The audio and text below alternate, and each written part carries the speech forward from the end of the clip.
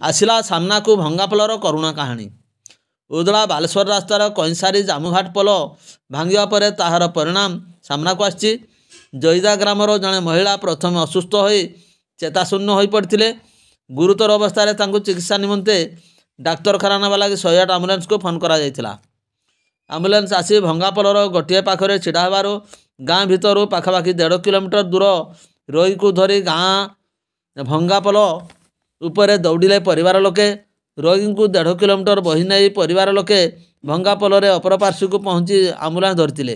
ପରେ ତାଙ୍କୁ ଆମ୍ବୁଲାନ୍ସ ଯୋଗେ ଚିକିତ୍ସା ନିମନ୍ତେ ଉଦଳା ଡାକ୍ତରଖାନାରେ ଭର୍ତ୍ତି କରାଯାଇଥିଲା। ଏହି ଭିଡ଼ିଓ ଏବେ ସାମାଜିକ ଗଣମାଧ୍ୟମରେ ଘୁରି ଘୁରୁଛି ଯାହାକି ଏଠିକାର ଭଙ୍ଗାପୋଲ ପଛର ଯନ୍ତ୍ରଣାକୁ ସାମ୍ନାକୁ ଆଣିଛି। ଉଲ୍ଲେଖଯୋଗ୍ୟ ଯେ ଉକ୍ତ ଜାମୁଘାଟ ପୋଲରେ ଟେଣ୍ଡର ସରିଥିଲେ ହେଁ ତାହା ଏପର୍ଯ୍ୟନ୍ତ କାମ ଆରମ୍ଭ କରାଯାଇପାରି ନାହିଁ। କ'ଣ ପାଇଁ ତାହା ଆରମ୍ଭ ହୋଇପାରି ନାହିଁ? ବୋଲି ଲୋକେ ପ୍ରଶ୍ନ କରିଛନ୍ତି।